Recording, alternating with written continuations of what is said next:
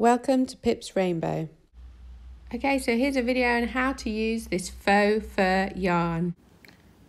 Okay, so today we're going to learn how to use this faux fur yarn, which is extremely soft. I can't really describe how soft it is. It's amazing. My daughter found this one in um, amazing shop called Wool on the Exe in Exeter, and she found it under their window, under their window display, and fell in love with it straight away.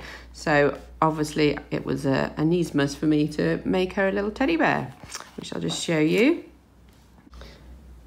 Okay, so here's the little teddy bear that I made with the Sirdar faux fur yarn um, for my daughter.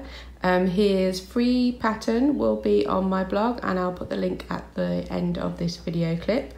Um, as you can see, he's rather well loved already and very, very soft and snuggly. So the video, um, so this video tutorial is about basically how to use this yarn because it's a little bit interesting in the sense that you can't quite see where your crochet hook is going. Um, but it's great, great fun, but definitely not for the faint-hearted and definitely not one to do when it's extremely dark in your room. Um, this is one to do when you've got good lighting. So um, it's from Sirdar, which is an, an amazing company, and it says on the back to use a 10 mil crochet hook. Now, I tried it with a 10 mil crochet hook and that was on the large side and quite gappy. Um, so I've actually gone for a 7 mil hook um, just because we're doing a toy and obviously you usually um, reduce your hook size when you're making a toy um, so that stuffing doesn't come out.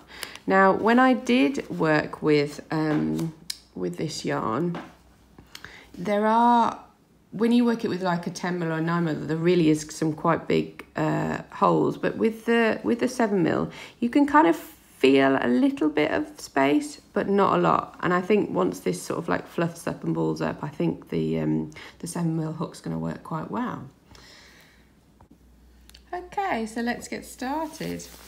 Right find the end of this wool so got our little end. And we're going to start by making a magic ring. So as usual yarn over. And then grab that little tail and pull through. And that gives you your magic ring. Okay, so now we're going to chain one into that magic ring because this is for, uh, we're going to be using double crochet. I'm going to pull that through and then we're going to start our six double crochets into that ring. Now, top tip for this pattern or for crocheting with this yarn is you need to be able to um, you need to count your your stitches just to make sure you've got it right so one two three uh, four notice I'm sort of like putting my finger down there just to anchor it down a bit so can you see? They're quite tricky to see. One, two, three, four, five, and six. Okay, so I know I've done six double crochet stitches, but we're just going to check and see if we can see. Can you see there? One, two, three, four, five, six. Can you see how you can see the sort of end of the fur? That's basically what you're going to be looking for. Now, with a magic ring, normally you would just pull your tail um, tight and then the ring would close, which is what it's doing. But the the other thing I found with this yarn is it's quite, because it's so soft and silky, is that it can undo. So what you need to do is secure that, so the inside of it, so turn it over with literally just a simple knot. So pull it really, really tight and then I actually just did two knots. So I just pull it through and pull it down whoops. And again just to secure that magic ring because I found when I was making the teddy bear the um it, it was it was opening up and there we've got our magic ring with six double crochet stitches Okay, so now it's time to find those stitches. So I'm going to count back. One, two, three, four, five, and I can feel one there, so six. You've just basically got to use feel really and trust that you're in the right place. So hook in, pull through, yarn over. Now I'm going to do two, so it's normal amigurumi increase, so two in each, two stitches in each uh, in each stitch. Again, count where you're going because you're going to get in a pickle otherwise. So I've done two. Now, can you see? I can't really see where I'm going in, but you can feel that that is the next place. I think because it's got such a big hook size, it's a lot easier. I can imagine if this was a really small uh, weight, you'd struggle even more. Um, but for me, it was quite exciting because it was sort of, it was like you were crocheting in the dark in some ways. Um, but I definitely think this seven mil hook is the right one to go by. Right, so I've done six, six work, six crochet, um, double crochets there. Okay, so let's go back in. Seven, eight, nine, ten, eleven, twelve. So I know I've increased six times there because I've done six, um, six times two, so 12 double crochet stitches. Can you see how fluffy it is? It is pretty cool. Um, but again, can you see that you've got your little V's there? That's where your stitches are. Now, really important start stitch marker can't do without with this one. Um, so place that over as normal and then you're going to work one double crochet and then two in the next to create that increase. So two to make three. Now sometimes it gets a little bit fiddly like then. If it is a bit fiddly just pull it out and start again Okay, don't try and force it. There's a reason why it's not coming coming through.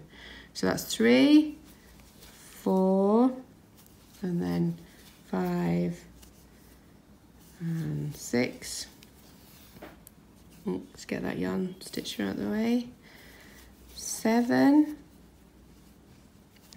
eight, nine, okay, so 10, 11, and 12, so that's two together. So I'm working my way up to 18.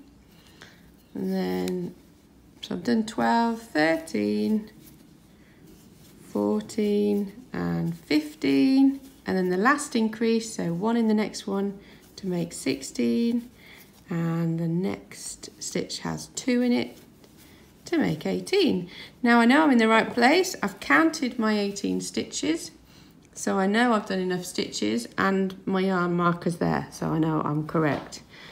And there you have the increasing uh, an amigurumi um, crocheting with this fantastic faux fur yarn.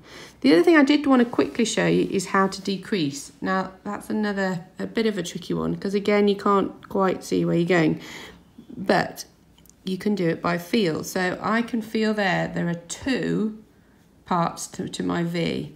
And when you decrease, you know you go through the fr front one only. Okay, so you're literally just going to have to work that, find that one, and then find the next one. Okay, so that's your start of your decrease. Yarn over as normal and pull through. You see it's getting a little bit fiddly. Oh, let's try again.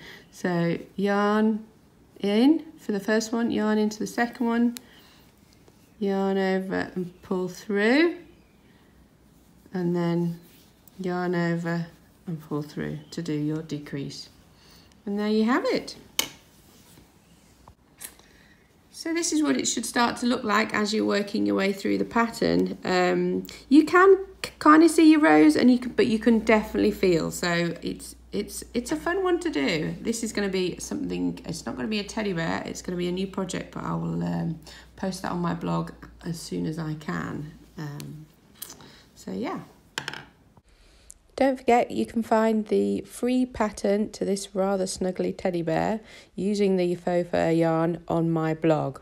Thanks for listening. I hope you find this tutorial really useful. Remember there's loads of other free tutorials and patterns and stitch tutorials on my blog and the website is www.pipsrainbow.com. Thank you. Bye.